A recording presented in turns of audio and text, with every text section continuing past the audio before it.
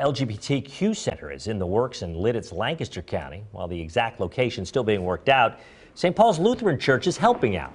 The church provides a safe space for the group Lititz Chooses Love. That includes social programs and resources for the LGBTQ community. We're both just incredibly inclusive groups, just looking to support everybody. We want to support our entire community. The group's next Safe Space celebration will be on December 15th in Manheim. You can find details on the Facebook page of Lititz Chooses Love.